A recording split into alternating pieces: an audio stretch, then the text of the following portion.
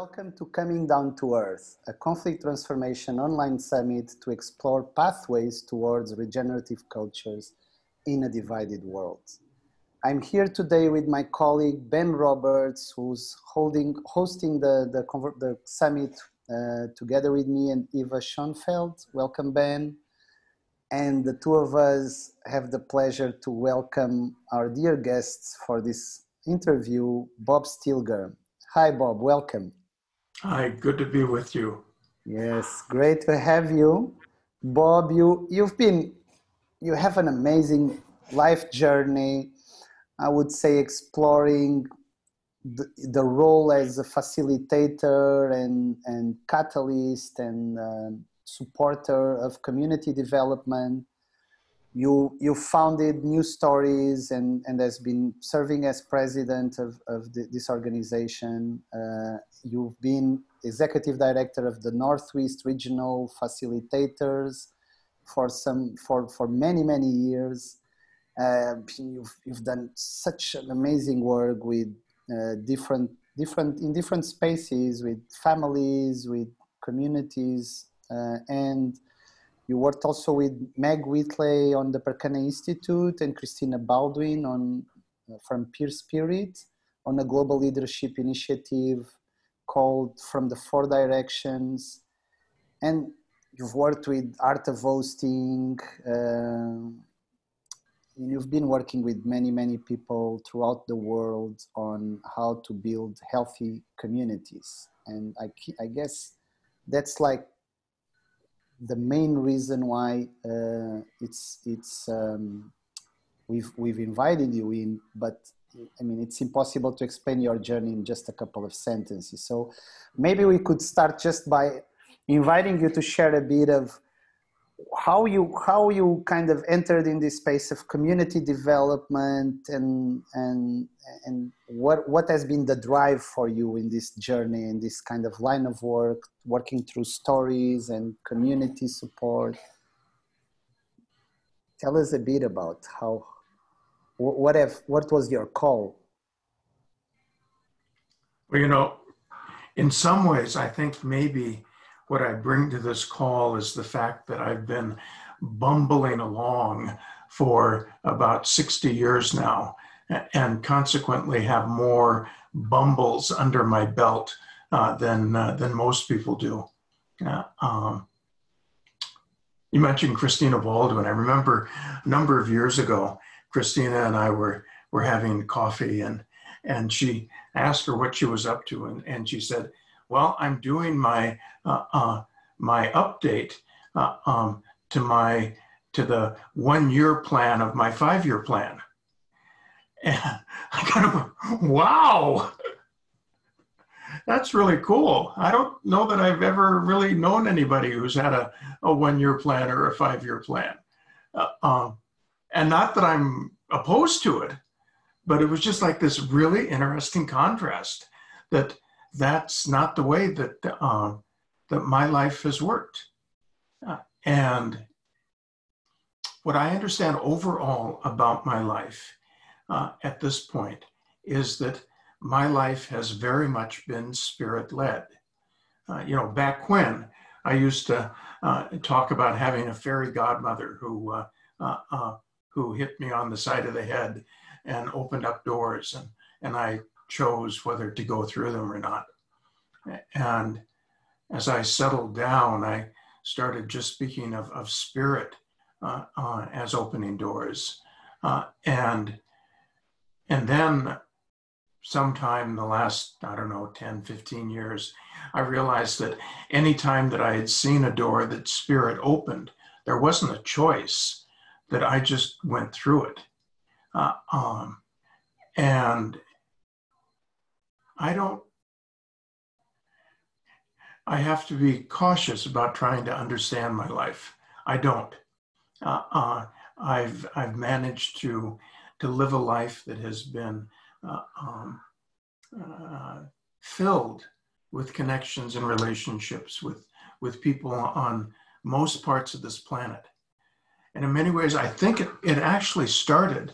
You know, my when I was ten years old, uh, uh, I started working for the Oregon Museum of Science and Industry. And I was there for the next 15 years. When I was eight and nine, I decided that picking strawberries and beans was not a career path uh, that I wanted to pursue. And Spirit opened this door uh, to OMSI. And at first, when I was there, I, you know, I, I, I thought that I was supposed to be a scientist because it was a science museum. Uh, um, and it was years later that I realized that what really intrigued me about OMSI was that it was a place of people. And at a very early age, uh, coming from a, uh, a low income working class family, uh, uh, uh, even before I was a teenager, I was rubbing shoulders and working with both the richest people and the poorest people in Portland, Oregon.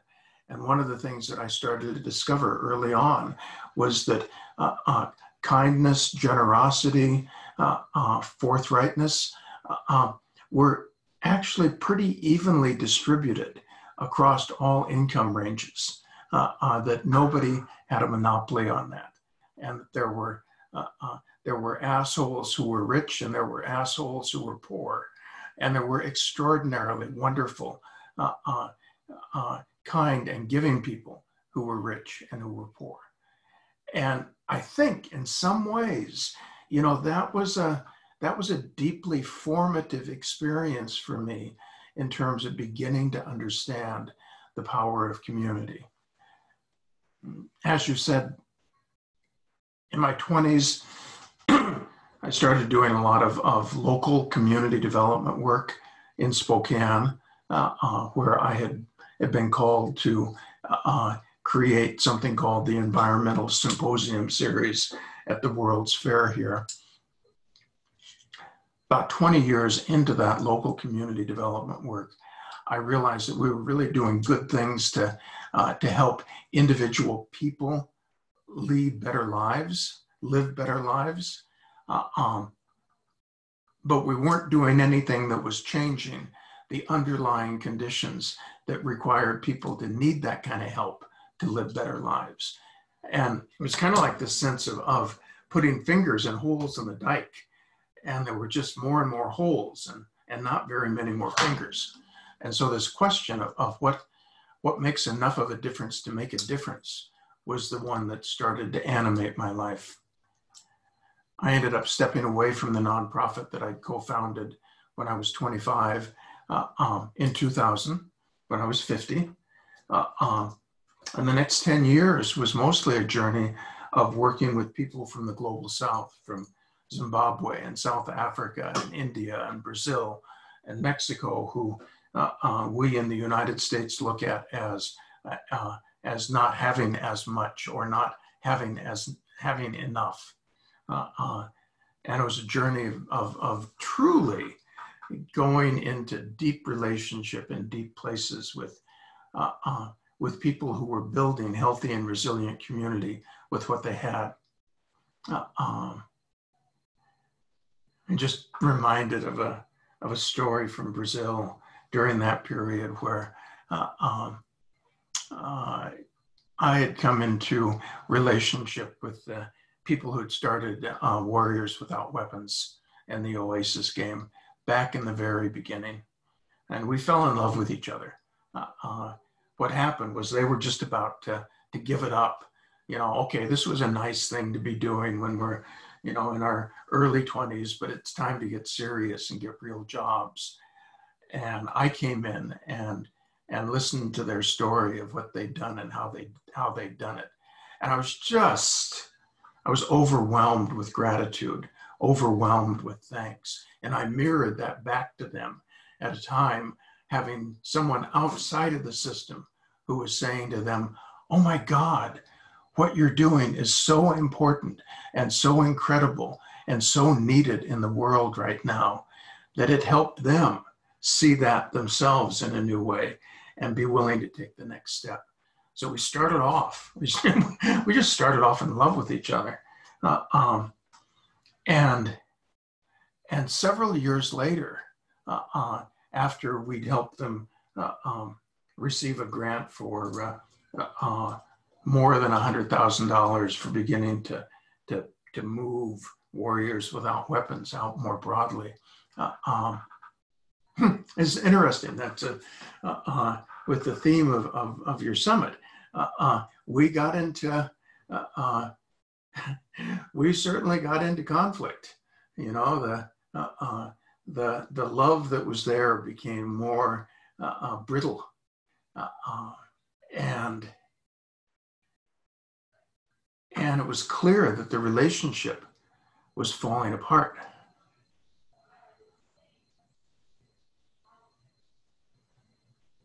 And, and for all of us, it was sad. And, and there was anger. And I just got to a point where, where I,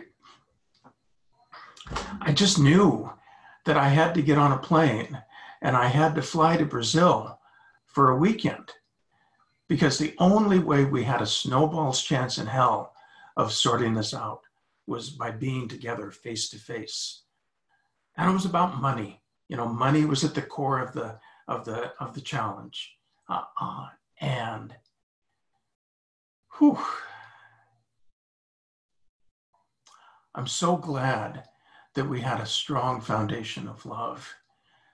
And we got we just got deeply into the uh, the tensions and the conflicts between the global north and the global south. And the and the why is it uh, uh, that you get to be paid to reflect. And we don't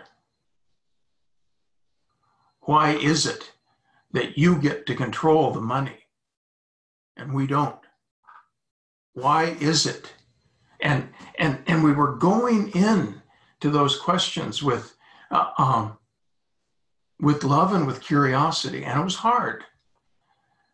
It's really hard. Um, I always remember, you know, we, I don't know, we'd been at it for, uh, uh, gosh, maybe 12 hours by that point, spread over a couple days.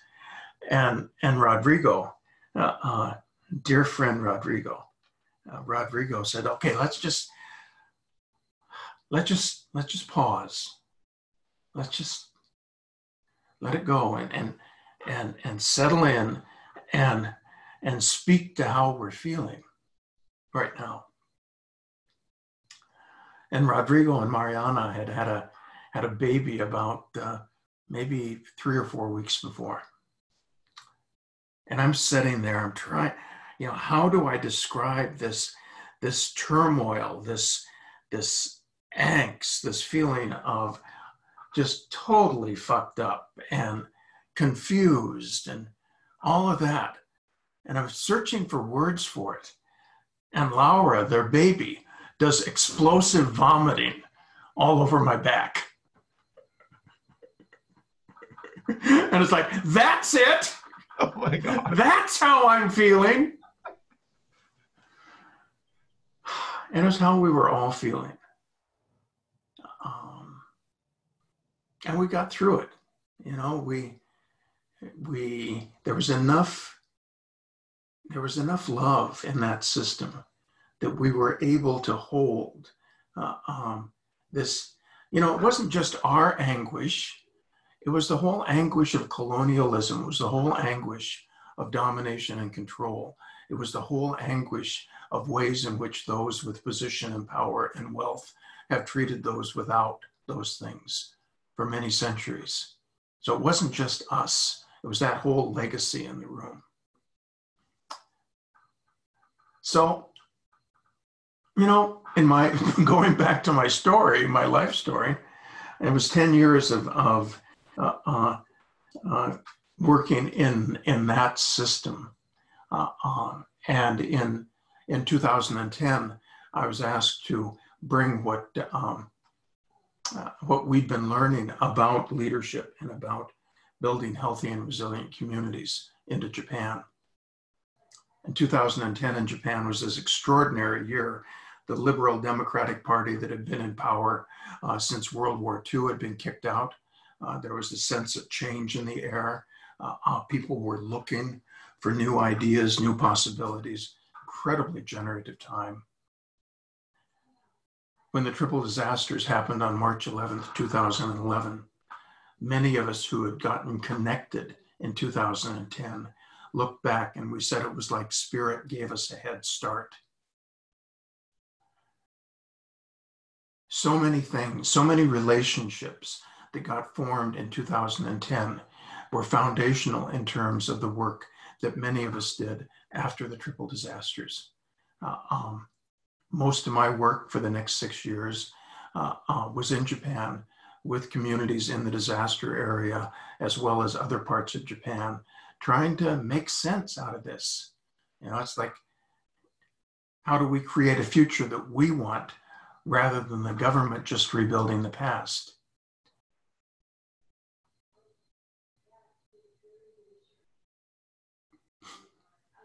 Remember waking up one morning in 2016 uh, uh, and it just came over me that uh, the, the work that I had set out to do in 2011 was complete.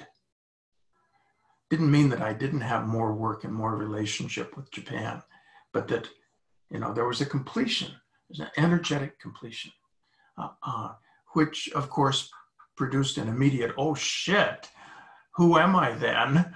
You know, I have this whole identity of, of Bob, the guy from Japan, uh, uh but that didn't that that collapse of of uh, of self didn't last for too long because I realized it was time for me to to bring my attention back to the country of my origin, back to the United States. Which, if it didn't start to change, uh, uh, the rest of the world was pretty well uh, uh, screwed. So I came back. I was immediately invited to uh, um, to bring the learning from Japan into the fire affected counties of Northern California. Uh, um, the journey last year in Paradise, uh, uh, the community uh, of 27,000 that was obliterated in fires at the end of 2018 uh, uh, was a very incredible journey because it came at a time that um, that some of us who had, had worked so hard in Japan were coming back together and, and, and talking about, so what happened? You know, there was this sense of, of, of, aha, this is the time that a new Japan gets born. Uh, what happened?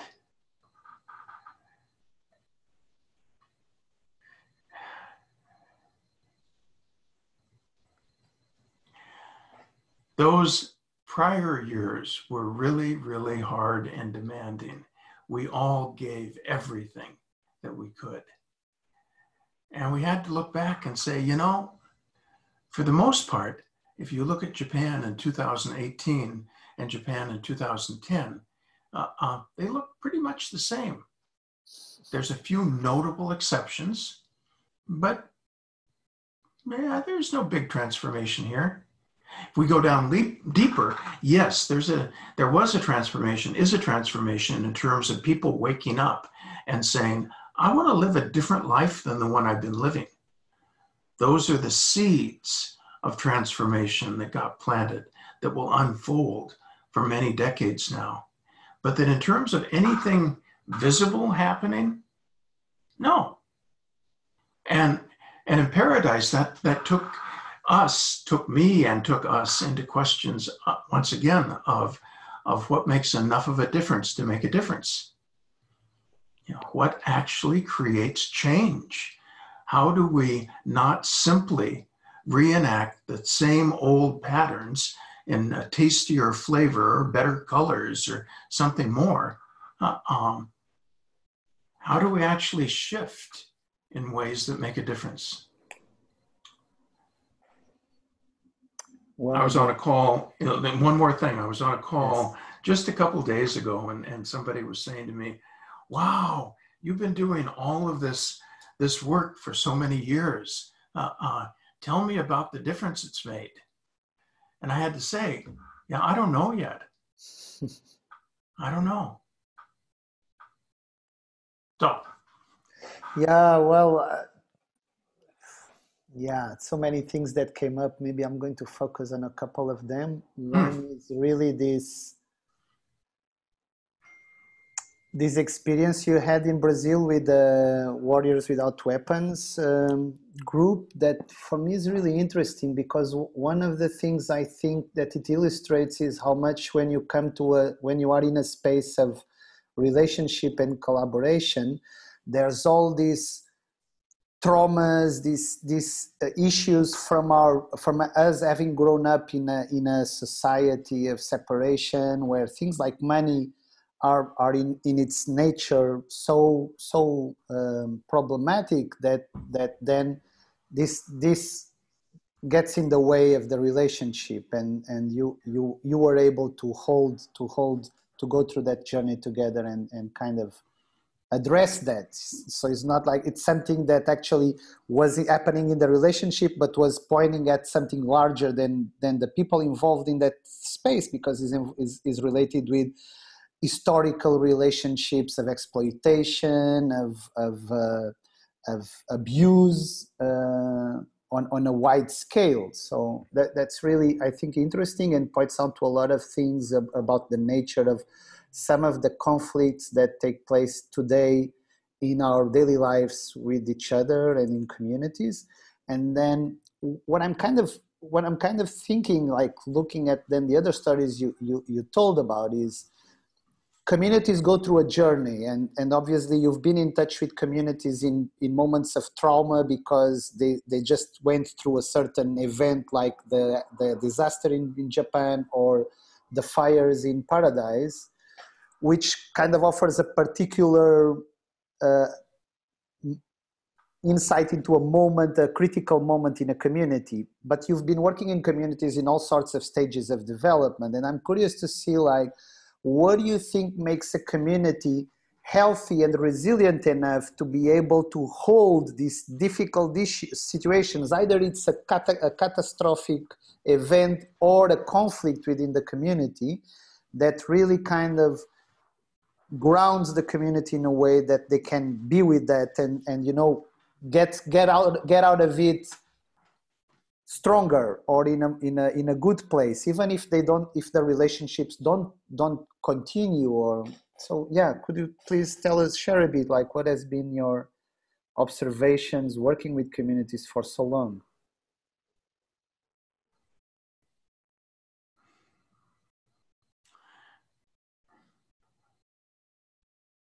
you know disaster and disaster and collapse are, are interesting. Uh, uh, interesting bedfellows. It's always so interesting how uh, uh when uh, when there's the when there's these monumental events, there is almost immediately, almost everywhere, this this uprising of human goodness, this willingness to reach out, this willingness to help each other. It's kind of like the, the, the event knocks us out of our old patterns. You know, for a while, uh, uh, we can forget that I think you're a jerk. You just become a human being. Uh, I don't even have to figure out if you're a jerk. You're just somebody who's putting up sandbags next to me. You're just somebody who's serving a meal next to me.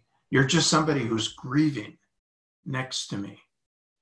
And, and suddenly all of this, all of this baggage that we've, that we've accumulated in our own lives and in our ancestral lives uh, um, doesn't get nearly as much attention from us as right now, right here, who we're with, and what needs to be done.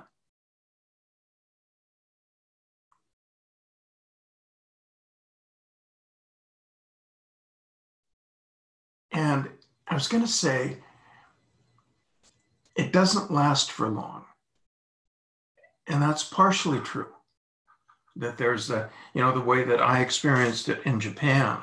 uh, uh, on a broader scale uh, is that the, uh, the, there was this one time we were doing a, a, a gathering just uh, two weeks after the disasters in Tokyo.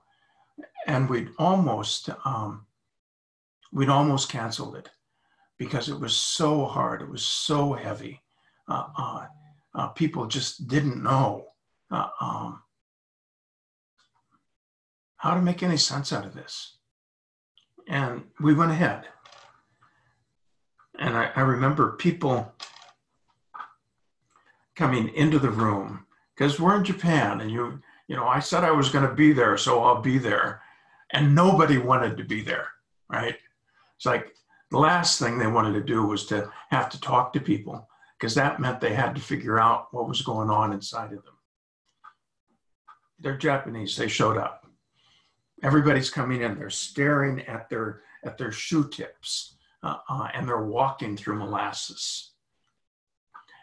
Three hours later uh, the room was just filled with excitement. And the contrast between those two was so great that i'm going what the hell? What happened here and i actually had to go to the to, to a corner in this room and just quiet myself down with this question of what's happened. And this really loud voice comes into my heart mind and, and it says, We have been released from a future we did not want. That was the energetic impact. At a social scale, and maybe at an individual scale, it's, I have been released from stories I do not need. And at the same time, arising alongside of that is an almost irresistible force to get back to the old normal. You know, this, this ambiguity, this confusion, this not knowing, it's okay for a day or two or maybe a month. But you know, it's kind of what we're going through with COVID and the pandemic right now. It's kind of like, would you please get me back to where I know what to complain about? So we have those two forces. We have that force of release and we have that force of return that always arise with disaster. And part of our question is how do we hold open the crack between those two forces for long enough for something else to emerge.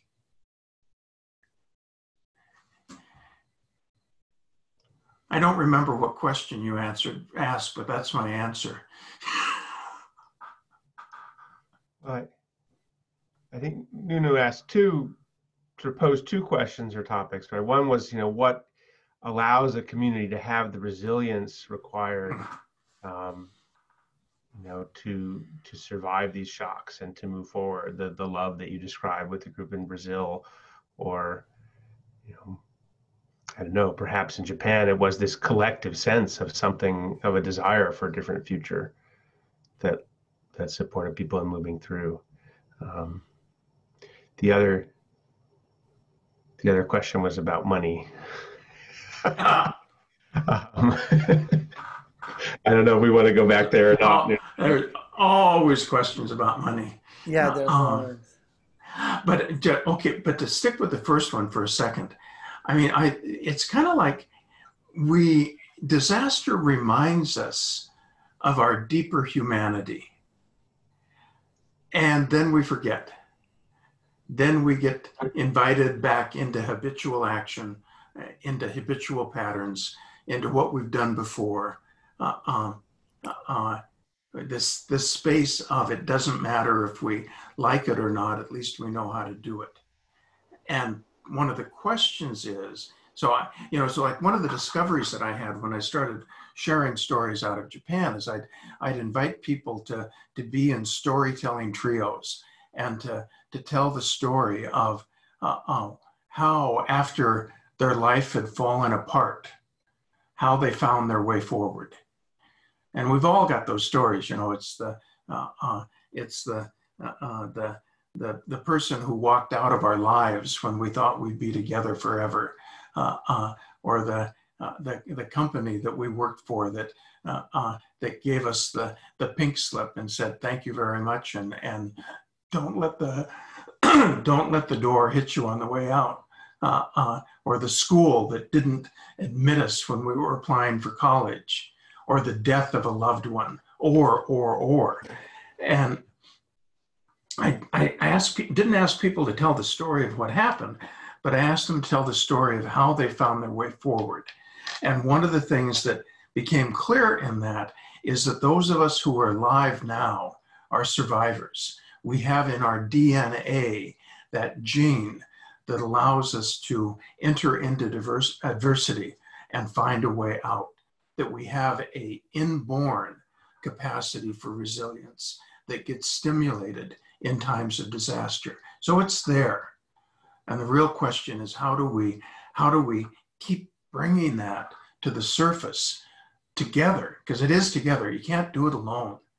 Uh, uh, how do we keep bringing that to the surface and working with it? So I would say that every community, that every person, that every context has an inborn capacity to be resilient. And we just have to remember that. We have to recognize that. We have to refeel that. Uh, um, and we're not very good at that. Yeah, what I'm hearing you saying is basically that to to be aware and trust that every community has in itself what it needs to continue its development path. That yes, yes, and makes, and it, it's all, sense it's also the case that that kind of, of, of, of self-reliance prospers with interdependence. You know, we sometimes think of self-reliance and interdependence as being adversaries or separate. Hmm. They're not. They're, are, they're, they're, they're kissing cousins. And when they're both present in the system, prosperity uh, uh, arises. So actually, I was thinking like one of the things that I, it's it's striking in uh, in in disasters or you know in in major uh, disruptive events that people face is that not everybody but a lot of people uh, see clearly or recognize and value that le- the level of interdependence and the connection between them like that is important to hold somehow each other in, in that space.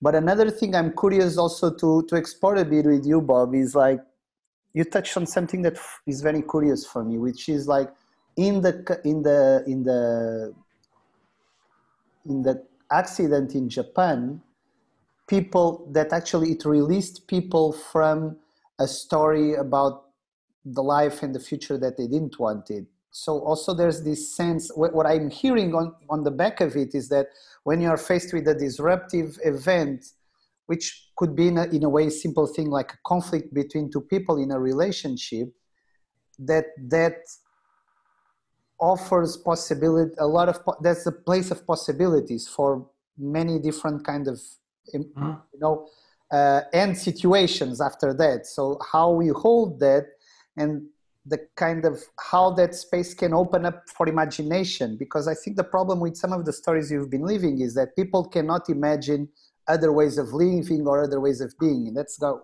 kind of yeah. want to go back to the familiar so yeah. i wonder like if you look back at covid now and where we are mm. at as communities like what does this space is calling us to to i mean we, we started preparing for the, the interview to talk a bit about this like what is this what are the questions we are not doing what is this space asking from us as individuals and communities acknowledging also this, this that maybe uh, part of us wants to go back to the familiar places but part of us also knows that that was not serving us that well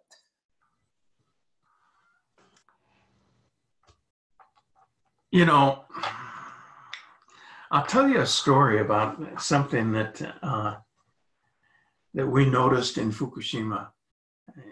Um, you know, Fukushima is very precious. The,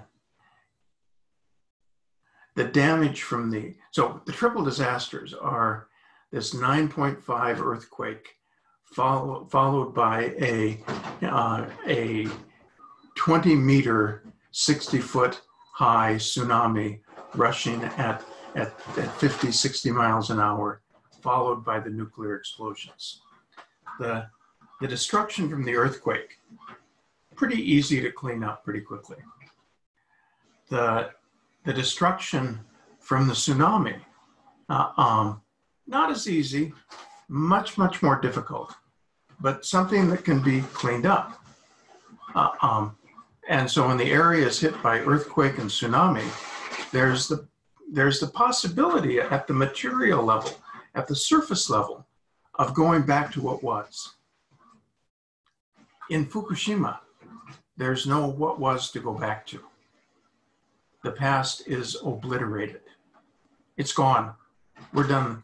And even Fukushima, I'm talking about the, the coastal region closest to the reactors. And, and, and that's where the learning continues. But one of the things that we noticed early on in Fukushima was that there were those people who had had had had a way to leave and they had gotten the hell out. There were those people who, if they possibly could, they would leave, but they were trapped. There were those people who said, This is home, and I'm not going anywhere else. And were those people who had never had a relationship with Fukushima who said, I'm going there. That's where I'm supposed to be. So those four groups. I've seen those four groups or ones like them arise in every disaster context. And and I don't have a I don't have a value judgment about one being right, one being wrong. They've each got their their own potentials, they've each got their own tragedies. I will say that my work is with the last two groups the ones who have said, This is home and I'm not going anywhere, or the ones who felt a calling to be there. So there's, but there's always those different stories, okay? The question is, how do we support those people who name this home and who are willing to do the hard work to create something new?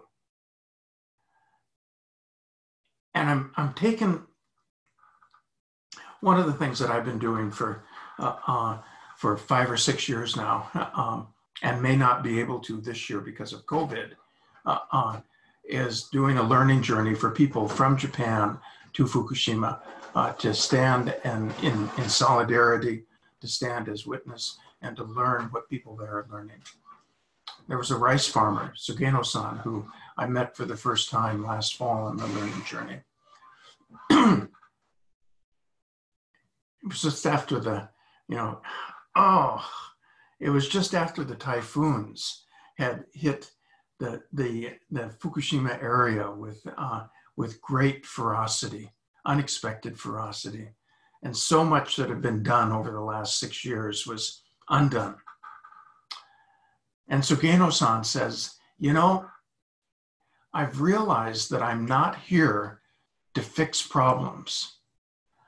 I'm here to live my life in ways that bring me joy. Okay? Come back to COVID. You know, I remember hearing from people uh, uh, in the in the first weeks of, of, of isolation and lockdown. It was kind of like they were all in that, get me the hell out of here. You know, I'm going crazy. I'm locked in this house. My kids are in this house. They don't have school anymore. We can't do anything to escape. This is just insane. Let me out. And two or three weeks later, there's there's some people who are still saying, "This is insane. Let me out." And there's other people who are saying, "Huh? You know, actually it's really nice not to to drive an hour or two to go to my office and, and do the things that I can do just as well from home. And, and, it's kind of nice being around my partner and my kids. You know, on a call where one person was saying, "Well, you know, I, I was really glad that uh, uh, uh, that I was I was hosting this Zoom call and I was I was doing the the technical work, so I wasn't in a in in a breakout room. I was just alone when my daughter screamed, "Mama, mommy, mommy, mommy, come!" and and then she goes on to describe how her daughter had wanted to see her poop on the carpet because she wanted to see what it looked like. Uh, uh and, and and she's and she's sharing the story with us. And it's kind of like, and then she go, oh, maybe I shouldn't be sharing the story. But it's kind of like, no, no, part of what isolation has done is it's brought us into closer connection with the fullness of people's lives. So there's some people in the pandemic who are the same as those people in Fukushima who said, This is my home, I'm not going anywhere. People have been rehomed in the pandemic, and it's incomplete, but there's things that people are not going to give up. People, things that people didn't know were precious until they experienced them during these last two months. And, and, and, and part of the transformative question is how do we how do we support each other as we work within and out of those experiences of, you know, this is actually the life I want. Help me call it in.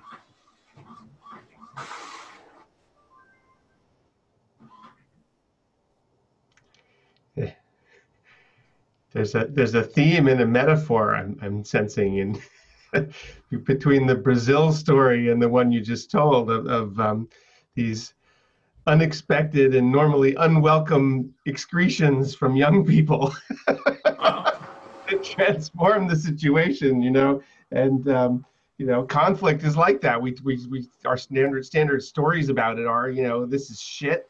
This is, you know, you're you're vomiting on me. I mean, this is not this is not something I, you know, I want this contained and out of the way or not happening at oh. all. And yet here are these two little stories of it literally being transformational and generative. And, and I'm wondering if there's something, you know, there's some message there. Yeah, it's like a conflict is a spillover. It's something like wants, wanting to be noticed or.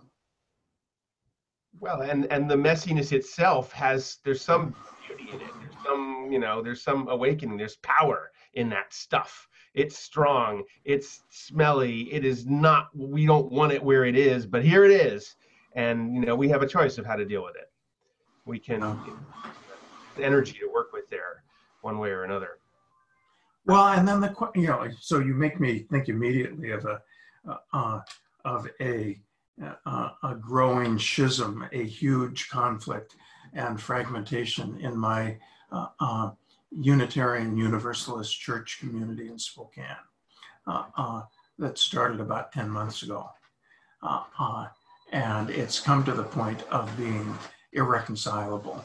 Uh, uh, you know, the, the congregation is in, in, in this arc of time uh, um, uh, uh, completely split. And the only real question is who's going to keep control of the assets and the, and the identity uh, and either retain or let go the minister.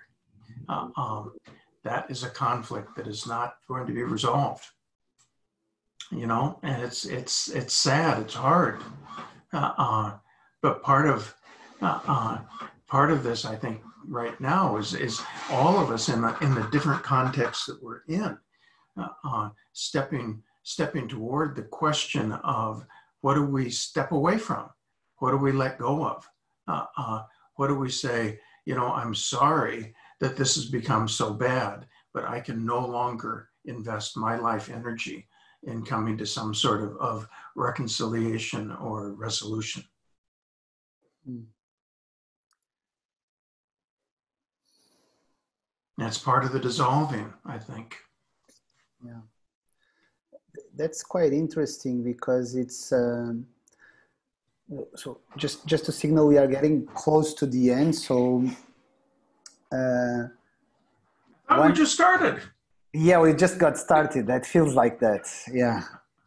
this is just a teaser, my dear. So one, uh-huh. one of the things that comes from me with this that I think is is a very important um, message to go through is is it it's not like we are going to get into a place in our lives where we'll be able to say we are masters of conflict transformation or so like there's there it's always it's always a, a, unique experience because we are always faced with this challenge of of how to be in that place and sometimes acknowledging that there's uh, there's not no possible it's impossible to reconcile these kind of oppositions or or um, forces going in different directions.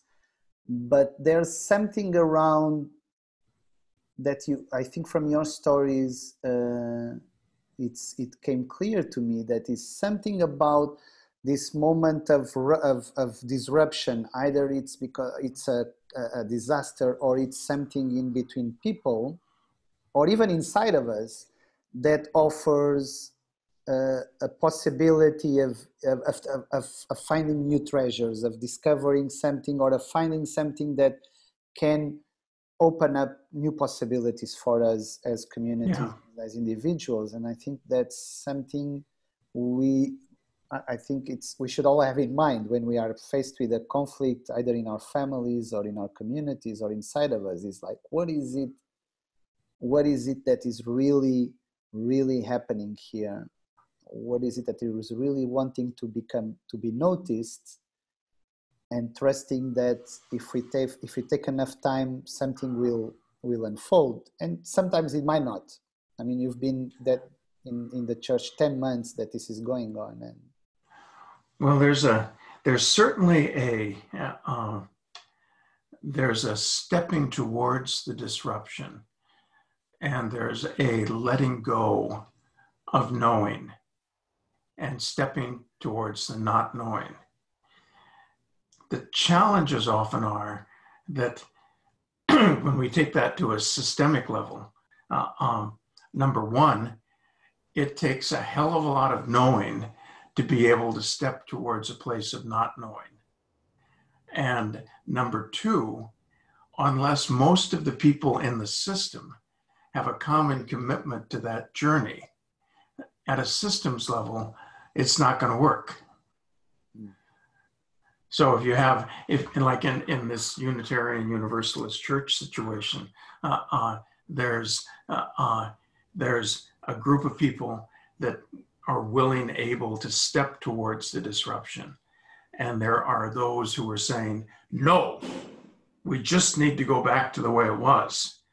And so the fundamental premises that are present in those two groups are diametrically opposed. Uh, uh, and you can't you can't reconcile unless you've got common ground.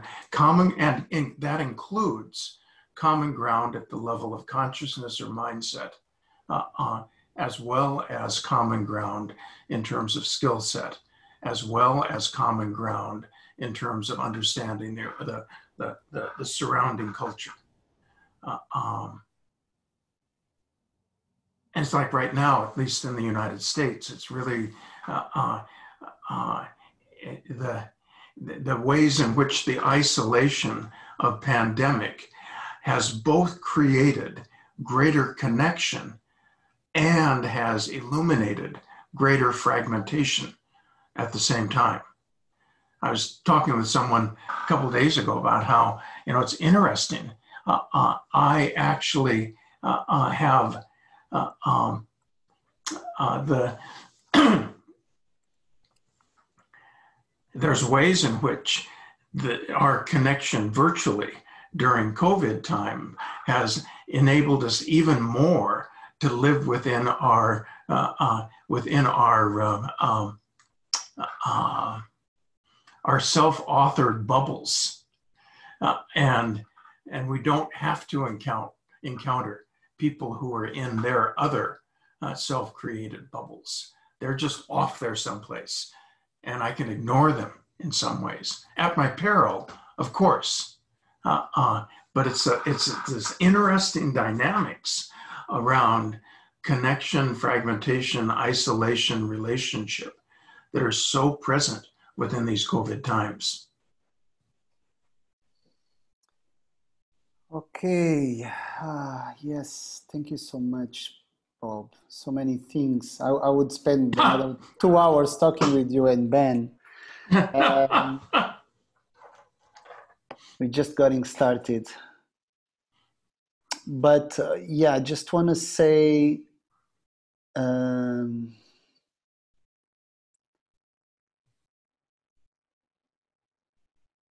that perhaps you mentioned something. So it's like one of the things I was saying is there's no there's no end point. So mm.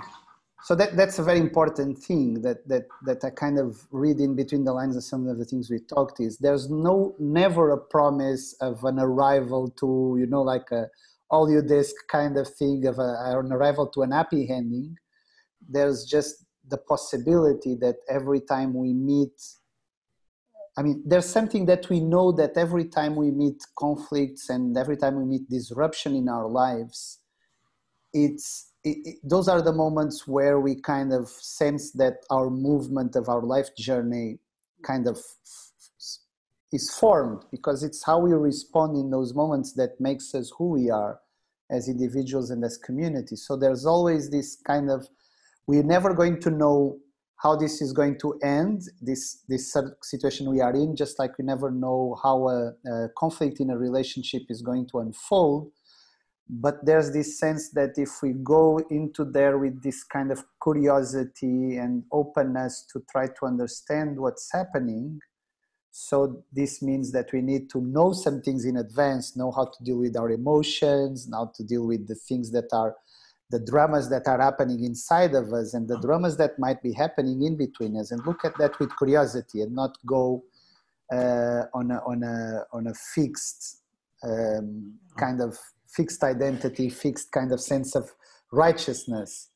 So that, these are some of the things that came up for me that are really important in a way for us to, to figure out that there's no magical solutions but we know that there's hints into how to be in difficult and, and situations. And maybe, maybe Ben, you want to add something? Um, sure. I mean, there was there were so many lovely stories and and and insights woven through there. I think the thing that I'm really taking away our, our questions as well, things that were hinted at or prompted that went through my mind that that in fact in, some cases we didn't we didn't go into. Um, but but you know i got the whiff of for example in the in the story about the congregation right? There's this question of well maybe maybe it's supposed to fall apart. Maybe this is the best yeah. thing you know? I think we have an attachment particularly in our in our developed Western, you know, patriarchal culture to things lasting forever. And this is some, you know, this total disconnection from death. Um, and and so what you know what needs to be let go of and composted and how do we discern that versus you know when is the love and the value of what's there so powerful and strong that we hop on a plane and we and we you know give our all to save something and go through the pain of the conflict and the difficulty because we, we know we trust there's something on the other side um, yeah. How do we discern that? And I, I think there's um, there's a piece at the community level that seems very critical with that. You know, that's where so much of your work has been and continues to be. And and I, I think, you know, when you were answering the question about what what allows communities to be resilient in the face of these challenges, you know, in my mind, I'm thinking, well, yeah, sure. And we've we so much of that has been eviscerated in so many parts yeah. of the world. And maybe that's part again of the contrast you're drawing between the developed north and the and the so-called less developed south. But those are often places where those community ties are much richer and more intact. Yeah. They have that wealth, um, and maybe that's the wealth that's that's mattering more. I, I, I don't know, but but in the places where we've lost that, right? I, I, see your work so much focused on the question of how how and where can we can we create that again whether you know in place you know and perhaps in in new ways of thinking about place or in in in ways that aren't necessarily grounded in a single place is part of my inquiry um, but you know, clearly, if that's, you know, as your colleague Meg Wheatley used to say, whenever the problem, community is the answer. And if we if we if we've lost so much of that answer, what do you know? How do we respond to that? So I'm I'm leaving with that as well. Um, one more question was around the money piece that, that got hinted at and not answered. But you know, I think there was this. You talked about how there's this sense of new possibilities and people yearning for a different life, but then this pull back to the old ways. And I think so much of that pull has to do with what's financially viable for people yeah. or the choices totally. they have to make, right? And, yeah. and so, what would the world look like if everyone who wanted a different world could could make their living building that world instead of having to make a living, you know, maintaining the one that that that that isn't serving them and others. Um, and so you know, on the one hand, whether it's at a personal level or at the systemic level, money's the problem. Money's what we fight about. That's a cliche. And, you know, there's all these people talking about, well, we need new kinds of money, new ways of doing things, or we need to do things without money. And I think all of that has beauty and value. I'm also really curious are there transformative ways we work with money so that it becomes a force for healing um, or the conflicts that arise around it are, are also generative? So, um, it's been very provocative in all those ways, Bob. And I love you. I, I love your energy. It's great to hear more of your stories after working together for so long and realizing I we haven't actually made time for this kind of. um, and the story I think of all the stories, my favorite was the rice farmer, you know, and his shift and that that joy as as a core value seems so I mean, it's different from love because you know you might love something, but you still are going to lose it and have to let go. But but joy is this path forward that seems to offer some clarity and some answers. So where is the? Can we learn to find joy in conflict? There would be a transformation. Ah. uh, I think maybe maybe it's the balance. Bob, do you want to say something before we close? Sure, a couple things. One, I I got to go back to that rice farmer uh, uh, part of his amazing story is that he has been, um, he's an organic rice farmer. And he's now done uh, uh, nine years of, of research with the University of Niigata. And here's the really interesting surprise. If you, his soil is still radiated, it's not a high level of contamination but it's contaminated. If you plant rice in contaminated organic soil, the contamination remains in the soil. The organic soil holds it. If you plant rice in industrialized soil that's contaminated, the contamination goes up into the living quality of the rice. Wow. We got nine years of research that shows this is this is so. I'm trying to get the research into English because it's such it's so important and it's such an important metaphor that when we connect with life, we restore health. When we connect with life, we're able to hold the things that are challenging and difficult and poisonous. Mm. And the more we move away from life, the more we lose that capacity. So, Sugeno san rocks. Uh, the other thing I'd say is that you know if uh, uh, if folks are interested in exploring some of the questions that that we've been talking about, uh, um, uh, my book, After Now, when we cannot see the future, where do we begin? is one good resource that you can get from Amazon or from uh, the afternow.today website. Uh, and for other, other resources looking at this, please come visit us at newstories.org. Thank you so much, Bob. Was was lovely. Was lovely to be in this space with you, and mm. look forward for more conversations. Thank you, Ben, for holding this space with me. Uh, looking forward to see what you felt about the conversations, what this opened up for, for you out there who are listening to us. Thank you so much for being with us.